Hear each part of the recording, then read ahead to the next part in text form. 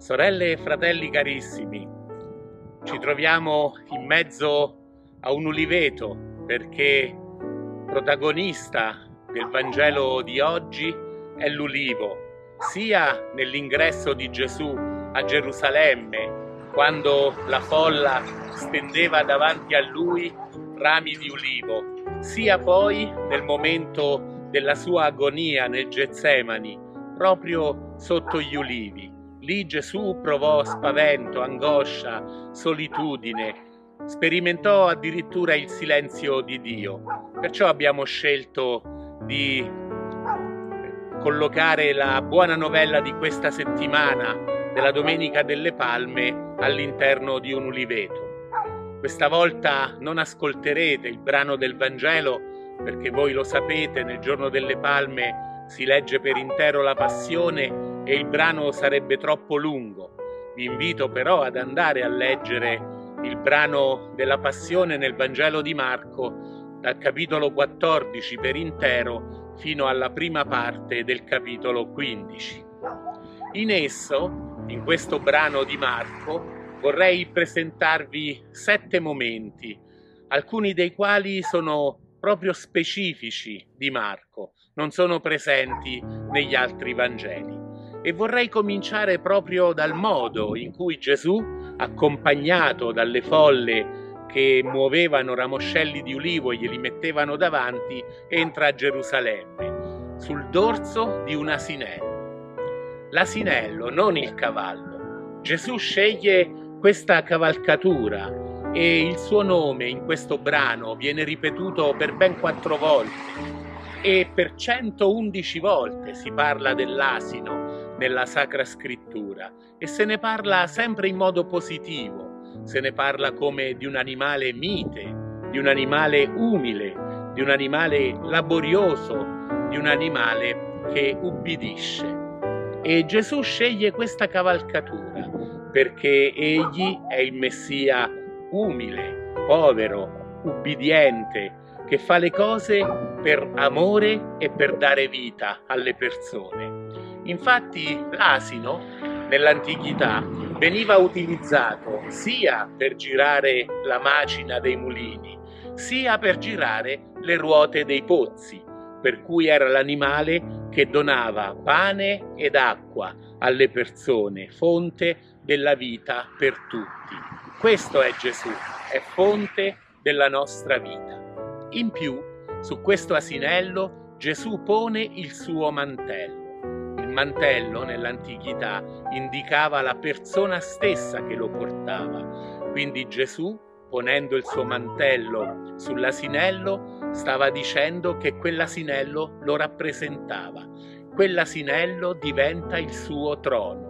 Egli non è un messia potente, non è un messia come il re Davide che con la forza e la violenza aveva conquistato il suo regno, ma è il servo sofferente come ci dirà Isaia nella prima lettura, che realizza il suo regno proprio attraverso il dono d'amore totale della sua vita per dare vita a noi. Poi vorrei mettere in evidenza la paura di Gesù. Solo nel Vangelo di Marco Gesù, mentre prega nel Getsemani, ci viene presentato in preda alla paura e all'angoscia l'antichità conosceva personaggi come Socrate che andarono di fronte alla morte senza timore, senza paura, senza temere nulla, quasi come se fossero dei superuomini. Gesù no, Gesù è totalmente uomo e come ogni uomo di fronte alla morte ha provato paura ed angoscia.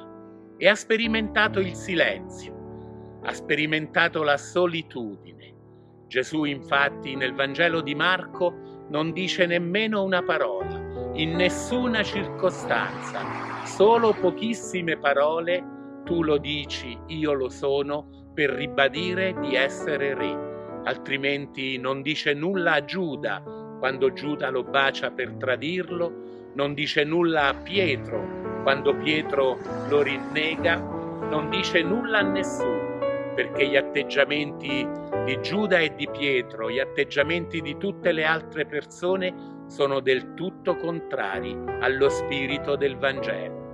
Gesù sa che ormai non è più tempo di dire parole, è il tempo di offrire la propria vita per amore.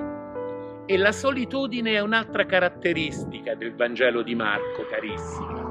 Nel Vangelo di Marco, infatti, Gesù è totalmente solo, non è accompagnato da nessuno. Negli altri Vangeli c'è sempre qualcuno che gli è vicino, in Marco no. C'è Giovanni nel Vangelo appunto di San Giovanni, c'è Pietro che lo segue da lontano, ci sono le pie donne, c'è la moglie di Pilato che aveva sognato di Gesù e che si fa vicina al marito per dire lascia perdere quest'uomo perché in sonno sono stata turbata per lui. Nel Vangelo di Marco, il più vicino agli eventi raccontati, Gesù è totalmente solo. Sente anzi addirittura la solitudine anche nei confronti di Dio.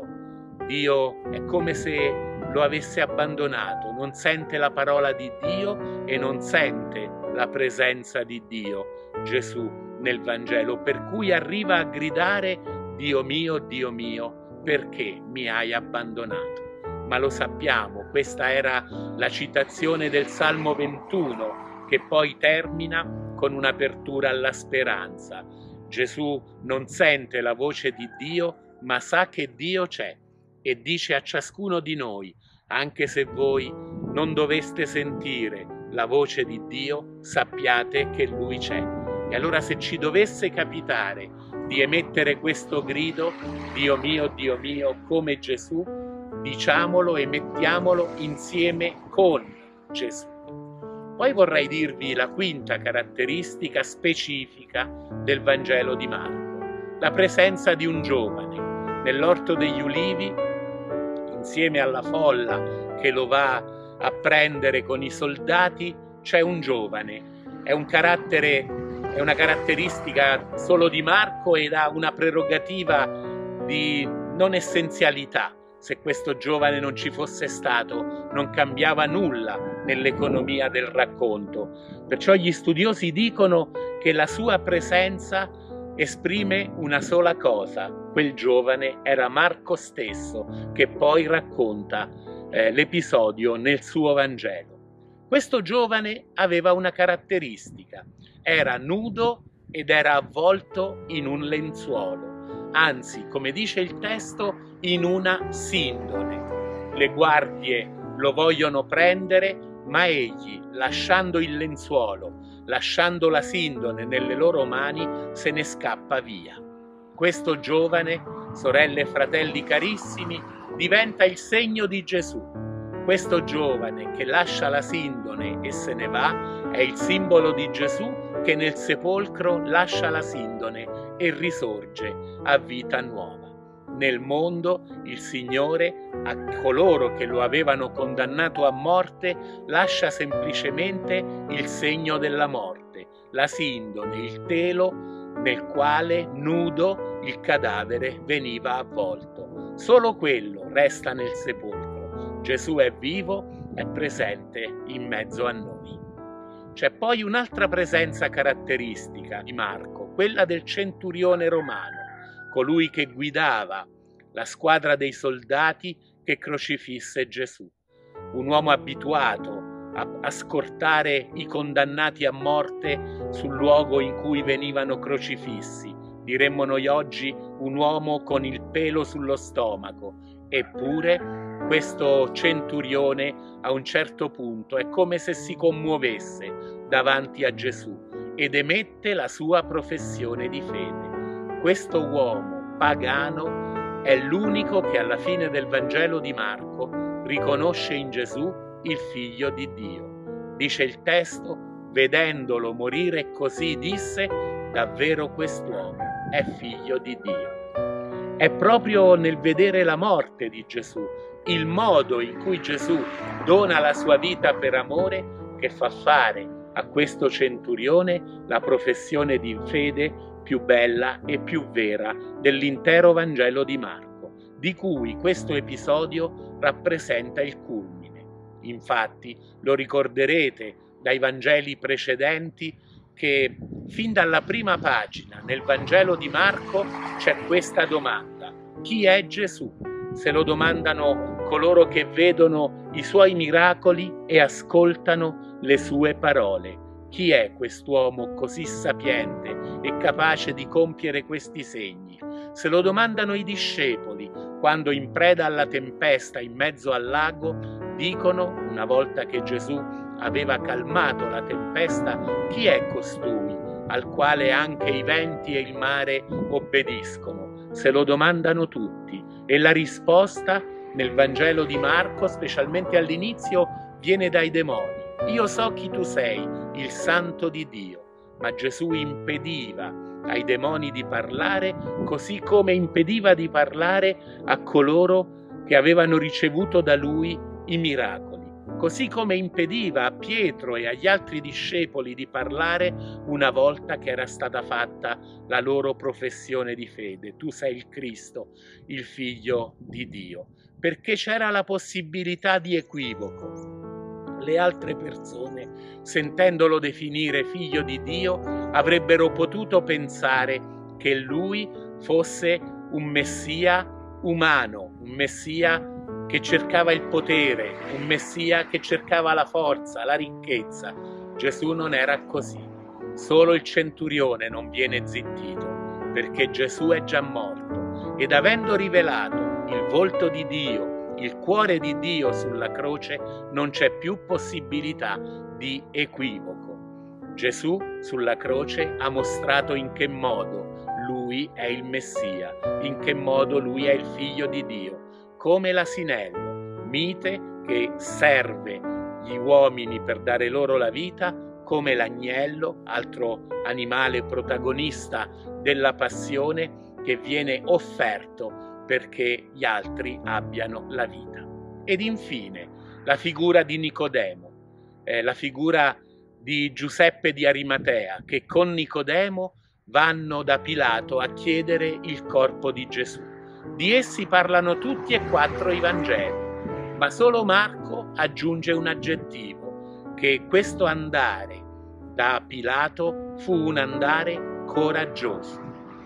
Nicodemo e Giuseppe di Arimatea si manifestarono come discepoli di Gesù e lo fecero con coraggio in un momento estremamente difficile, in un momento in cui, come Gesù, anche loro potevano essere presi ed uccisi per noi questo insegnamento. Se vogliamo essere davvero discepoli, se vogliamo essere davvero seguaci e testimoni di Cristo, dobbiamo esserlo sempre, ovunque, con tutti. Quando è facile, come quando ci troviamo in mezzo a persone che la pensano come noi e che acclamano Gesù come le folle all'ingresso di Gerusalemme, ma anche quando è difficile, quando Gesù viene lasciato solo quando Gesù sperimenta silenzio, angoscia e paura, quando Gesù muore in croce. Questo è il portone che si apre davanti a noi, sorelle e fratelli carissimi, all'inizio di questa settimana santa. Viviamola bene per poter poi fare esperienza di una Pasqua di vera risurrezione.